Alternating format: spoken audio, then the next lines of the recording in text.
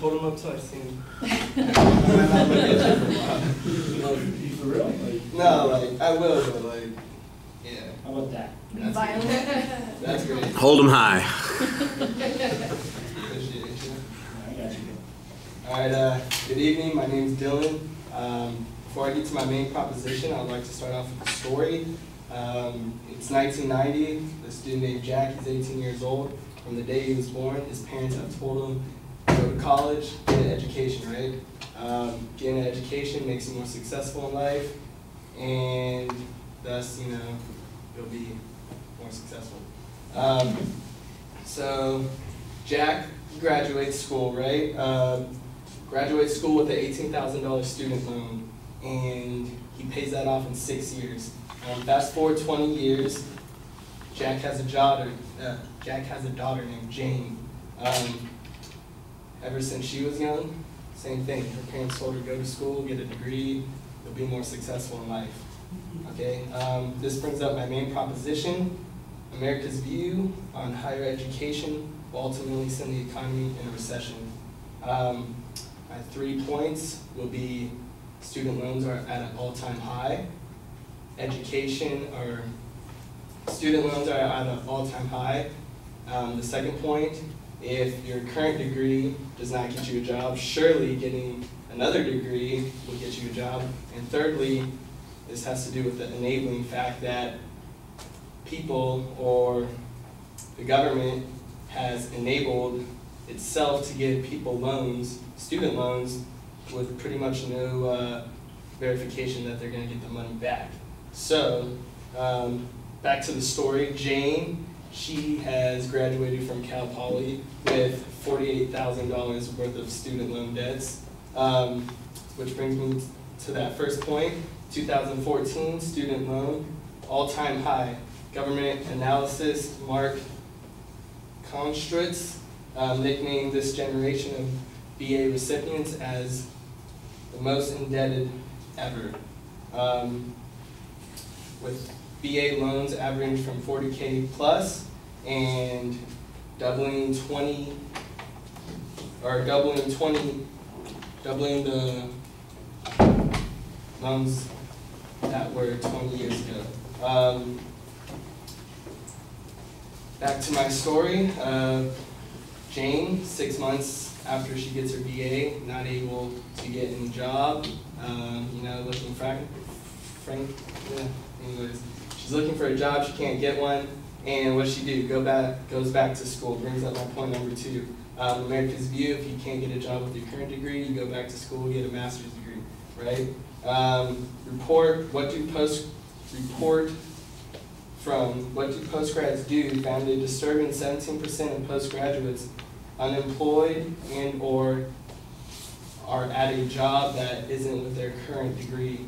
Um, the Association of Graduate Recruiters, which recruits uh, postgrads to get them located into a job, states that 27% actually don't need the master's with the job that they hold. Either they go into some other career field or it was just a waste of money.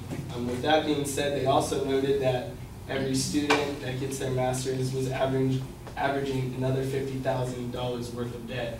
So back to the story, you have Jane. She not only did four years, but you know, came back for her master's. Now she's around 90K in debt and not able to pay that off. Um, which brings me to our third point.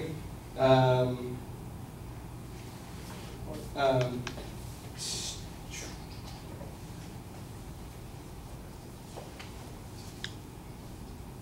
okay, which brings me to my third point, and hopefully brings everything together. Um, America's need for a higher education has forced um, forced people, or not really forced, but has given the opportunity for people to make money off of these people.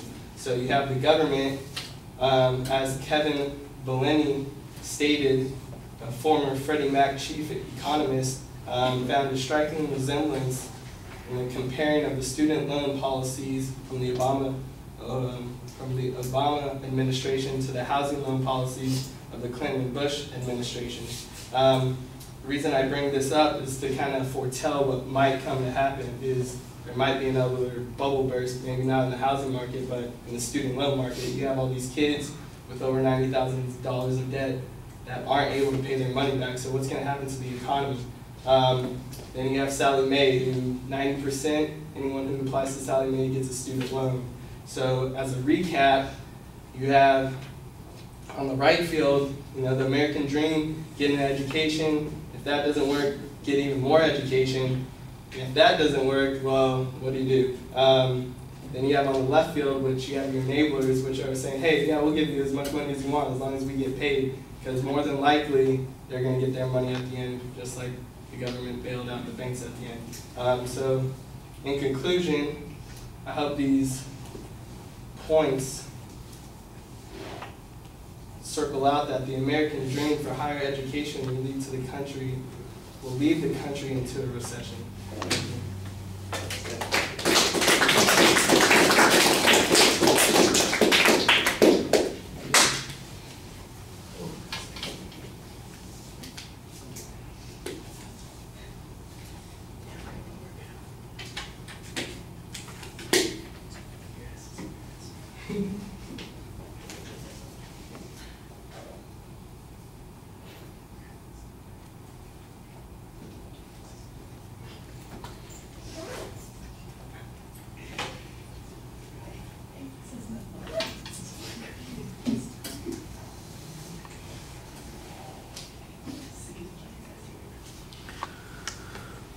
All right, Dylan, uh, the serial example that you're using in the presentation is fine, but I do think that you need to, every time it comes up, it ought to be followed up by some statistical information or a piece of testimony that then tells us why that part of the story is representative, typical, and problematic. So, for instance, when you mention, uh, you know, what's her name? Jane, yes. you know, going back to school for an additional degree, well, how many students run into that problem? You've got a statistic about the number of students who are either unemployed or employed in a, a field outside of what their major is. And what percentage of those folks go back to get an extra degree, you know, and then end up carrying extra debt? All I've got, uh, debt, excuse me. All I've got is this kind of hypothetical example on that without the follow-up, and that happens in a lot of places. So I think you explain the concept pretty well. What you're not doing is demonstrating that it is in fact having this particular effect. There's no data that tells us what the total debt is based on uh, student loans and what percentage of the economy that is, which is at the end of the argument, your goal is ultimately to prove that this is going to, I mean, you say it, it's, it's similar to the collapse that we had with the housing market. So, how big is it? You've got this bubble coming. How likely is it that people won't be able to pay it back? I don't know, because all I've got are these hypotheticals about uh, a student getting through Cal Poly with $48,000 in student debt. Now, I don't know how much debt you guys are taking on. I don't know what you're spending your money on. So it's a little bit hard for me to figure those kinds of things. I don't want to disparage anybody and say that that's not, I don't know that that's not accurate, but I'm sitting here.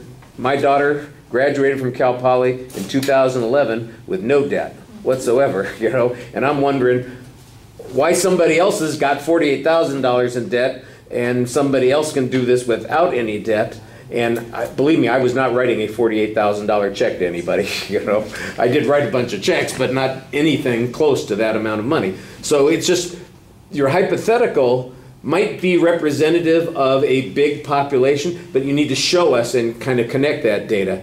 And I think sometimes the secondary claims, like I said, instead of being claims, they're explanations of what your process is, and you need to have more declarative statements on those particular points. Thought you delivered it pretty well and explained the ideas and concepts. Like I said, sometimes it just feels like there's there's a connecting point that's missing in the argument. All right, we're going to rush through.